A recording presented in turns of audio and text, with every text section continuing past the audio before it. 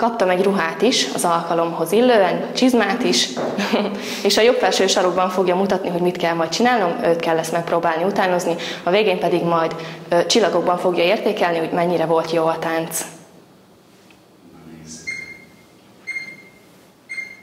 A visszaszámlálás után pedig indul a palotás.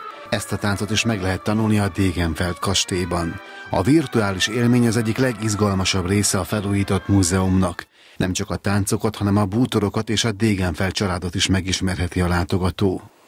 Azon a gyászos napon, 1849. szeptember 27-én, Degenfeld Imre alakját Lux Ádám színművész kelti életre digitálisan. Ebben a szobában pedig 19. századi bútorokat és egy titkos távcsövet látni, amivel állítólag a közeli tóban fürdőző lányokat lehetett meglesni.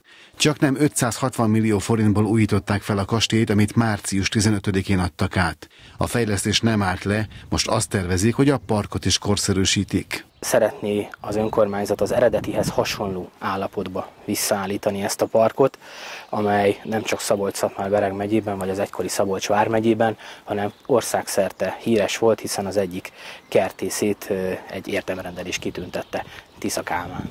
A park a Dégenfel család idején 60 hektáros volt, ebből jelenleg 12 hektár tartozik a kastélyhoz. Most a megfelelő pályázati kiírást keresi az önkormányzat, hogy a szükséges forrást előteremtse a felújításhoz. Nyilvánvalóan szeretnénk a körülötte lévő park fejlesztését megoldani pályázati forrásokból. Erre vannak már ötleteink, elképzeléseink. Várjuk azokat a kiírásokat, amelyek alkalmassá tesznek bennünket arra, hogy erre a célra is pályázzunk. Tehát a legfontosabb a Dégenfeld kastély a mi szempontunkból. Nem csak a park, hanem a főtér fejlesztésében is gondolkodik az önkormányzat.